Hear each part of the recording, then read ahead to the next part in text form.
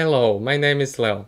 Today we are going to explain a few more useful algorithms used in computer programming.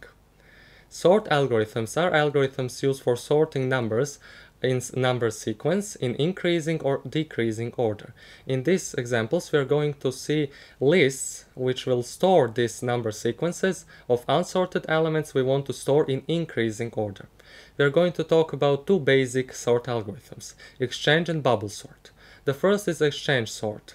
In the exchange sort we have this um, for loop nested in, inside this outer for loop.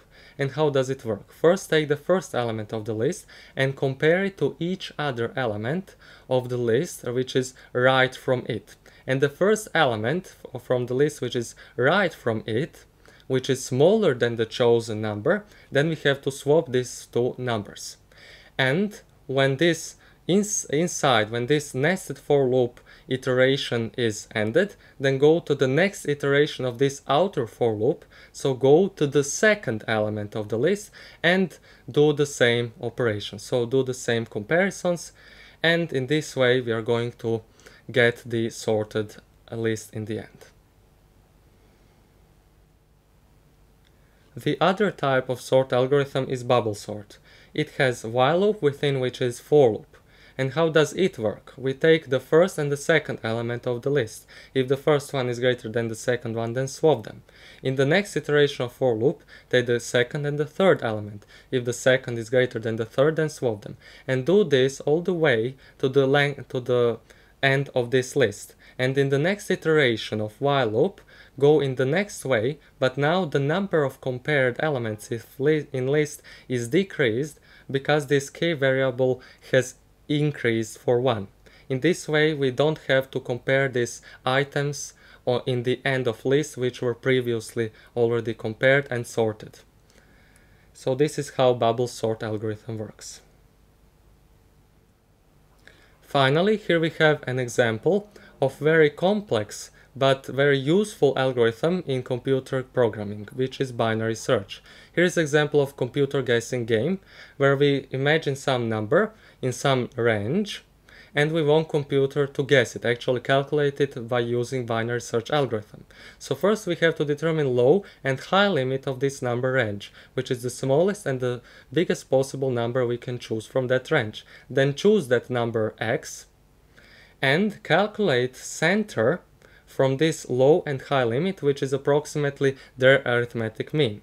Then go to this first if statement. If the number we've chosen is actually equal to the middle of this low and high limit, which were determined in the beginning, then computer prints your number is this number we've imagined.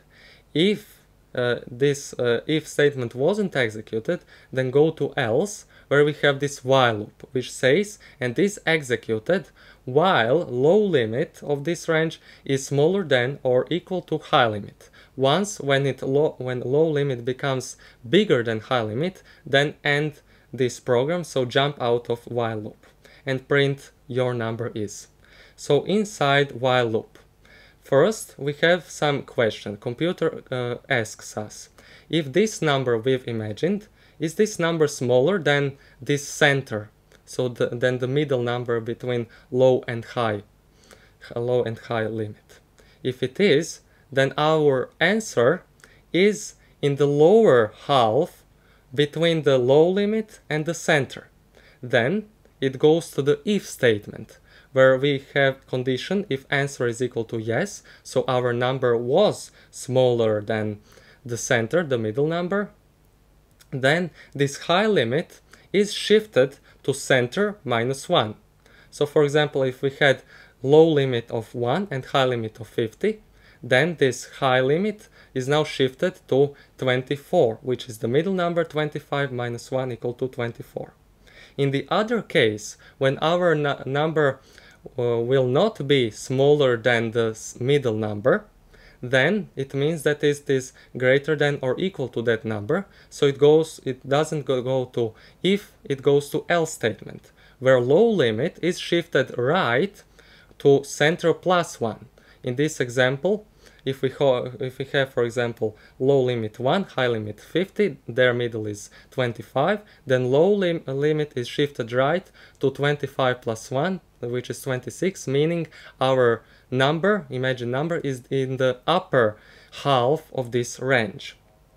And after this, uh, some of this if or else statement was executed, then go and uh, set center to low plus high divided by integer division by 2. So we set the new center because our range has decreased and this center is always on the, in the middle of the range.